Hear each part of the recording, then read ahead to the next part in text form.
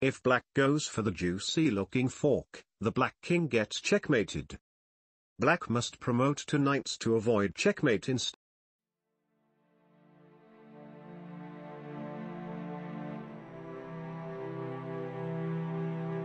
Black must allow white to promote. Black's passed pawns mean nothing since most of his pieces look dumb.